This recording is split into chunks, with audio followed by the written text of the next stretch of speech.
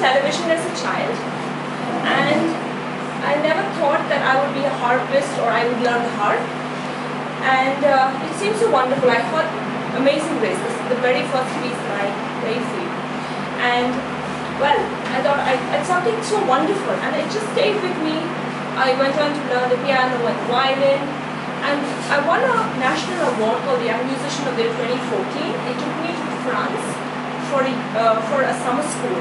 And while I'm at summer school, there were harpists strolling around their harp, playing at the tea recitals, and I thought this is so wonderful. I have some, some people there. Can you hear me? Yeah. Okay, lovely. So I thought this is so wonderful. And being a musician, I, it had never occurred to me that you could actually be a harpist, sit at a harp, have a harp teacher sitting next to you, have given you a harp lesson. Because in India, you cannot even buy a harp string. Forget about buying an buying an instrument. You, there is no uh, there is no book. There is nothing that you can get for this instrument, even in the best, most renowned music shops. I live right next to a big music shop in Mumbai and they have nothing for the harp at all. Nothing in the country that you can get. So it never it never occurred to me that this is something I could do. And when I saw these musicians perform, I was I was shocked. I thought, okay, maybe I can find somebody from India here. There are harpists from Italy, from Japan, China, US, Europe. I should find somebody. And I looked through the list and there was nobody. I thought, okay, I will come back and I will find somebody. And I came back and I couldn't find anybody. And I didn't know why. I looked and looked. I checked in all the music circles everywhere. Couldn't find a single person who, teach, who could teach me the pedal harp. Nobody had one. And uh, well, I thought, let me try to get a small harp. I looked at the cost of harps. I was shocked. I never, I never really explored this option because I never thought it, it was even possible. And when I started exploring this option, I thought, my goodness, I can maybe get a smaller. I mean, and then I was reading in the Bible where it says, with God, nothing is impossible. And then I look up and I see a full-size pedal harp sitting in my room.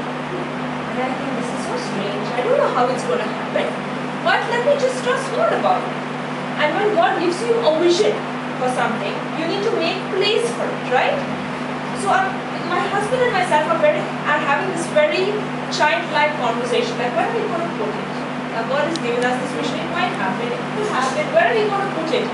And he said, we can put it there. And I'm like, no, it's, it's quite big. We need to move things around. So we're thinking, okay, we move this sofa there, we move this table here, and we have it over here. Not knowing what we're going to get, where we're going to get it from, how we're going to pay for it, nothing at all. And I just stayed with that, that it could, sorry, that it could happen. It could happen. I know, I'm right. All right, all right. Thank you. And, uh, well, in three months, the exact same harp was sitting in that exact same place, in the exact same room. I was put in touch with somebody who was here in India for a short while, didn't ever know about her before, got to know about her a week before she flew back to the United States. She gives me the instrument, gives me what I didn't even know that I needed for this instrument because it's huge and it needs a lot of maintenance. I needed, she's like, she gave me a bag of strings. I'm like, why are you giving me this? She's like, no, you will need it, just keep it. You will need it sometime. And she gave me the seat because we sit on a different seat at the pedal because we need the height and the trolley. So it's really huge instrument. It's also very expensive. You can't just walk around with it. It's the harp that I have is 45 kgs plus.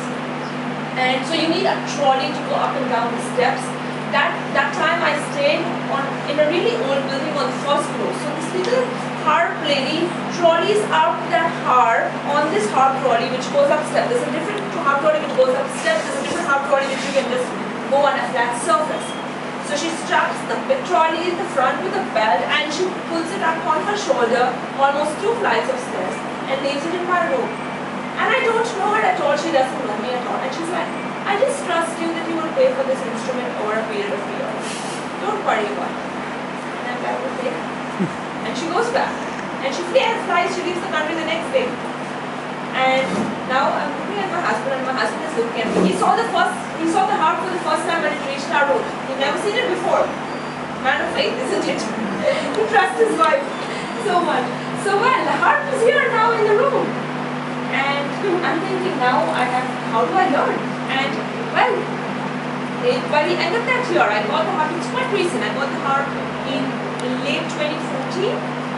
By Jan, first week of Jan 2015, a harp teacher walks in my door. I was put in touch with her, a friend of a friend of a friend, oh, somebody has a harp, do you want to teach her? Okay, fine. This lady travels one hour by train to come and teach me. I was, I was so touched. And then she flies, she goes back to the US, somebody else comes. And then there is nobody. And now I have to learn by myself. And then I learned on Zoom, on Skype, on YouTube, and there was no, uh, when it didn't become so famous, back in 2015 it was not so good famous to learn online on Zoom. It became famous in 2020 with COVID. But I was learning before that for five years, the harp, with visiting artists, with with uh, online, uh, and people would ask me, how do you learn music online? Well, I was not, well, I had no option. And the thing about music, you have to learn consistently with somebody. You can't just learn for a short time and you goodbye. You have to learn consistently. You have to practice every day, whether you have a concert or you don't. You just show up and play and practice. And so I would just practice and practice, and now I had to believe that I had to pay this lady. And I really wanted to keep my word. And God was so faithful, you know. I was put in touch. Arijit Singh's manager got gets my number and he calls me. He's like, Do you know who Arijit Singh is? And back then, honestly, I didn't. Like, I'm so sorry. He's like, Well, can you come for the rehearsal today? And so I was playing. And I had just I just started learning and I would practice day and night just to be able to play all the music they wanted me to play. And then with Arijit Singh, I travel the country, I've traveled internationally playing in Bangladesh, Sri Lanka, Singapore, Dubai, doing a symphony concert series. And sometimes you know how it is, they give you the music right there before the performance. Okay, do you have to play this? And I'm just looking at it and trying to figure out what do I do and then I'm practicing like crazy. Everyone's going for a break and I'm practicing. The harpist is never leaving the harp. well, so that's the journey. That's how it began. So I was able to clear off and I was traveling with my harp. Sometimes, you know, musicians are crazy. The instrument I put in the car is more expensive than the car. Yes. And then I'm traveling with it to Chandigarh, I'm traveling with it to Chennai, and one day there was an issue with the harp. The pedal wouldn't work. And you know, we, we, we reached the day of the concert and the instrument doesn't work now, what do you do? So I needed a backup harp, so I had to import a harp from Russia. And my, so my strings are from the US, the harp is now from Russia. We have this other pedal harp that it's good, but it's a little bit old. It was her teachers gave it to her and she gave it to me, so it's already seen all of the United States now. Song has traveled all over India, so it needs to sit in one place mostly.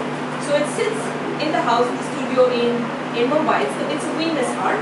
And then I travel with my white harp, which you may have seen in some of the pictures on YouTube. So that's my travel harp by road. Then sometimes I need to travel by flight, so that's when I had to get this harp, which I can just check on a flight. And by God's grace, I've been able to leave this legacy in the country where today, if somebody else wants to learn a harp, it doesn't have to be so difficult. How many strings do you have on the violin? Four. On the guitar? Six. On the guitar, you have six, and they all have to be in tune. And you need a backup, right? You can't just go with your six strings. Even with the harp, I need 47 strings on the red harp. I need all of them because sometimes I'm not playing on the note but I need it to, as a supporting strings while I play the other strings. So I need all 47 strings, I need all of them to be in tune. I need my pedals to work flawlessly. So when I the shift to the pedal, all my C's will change to C natural or C sharp or C flat. It's quite an engineering marvel actually, the pedal harp. And uh, well, so that's the journey. And today I, I teach out of this little harp studio in Mumbai. So I have students who come to the studio and then I teach online and internationally as well. So students in Chennai, in, in Delhi, Northeast, they can learn online on Zoom as well as I teach internationally. So we have the Harp India YouTube channel, the Harp India Facebook page and the Harp India Insta page. Okay? So now let me conclude finally with a song from Goa.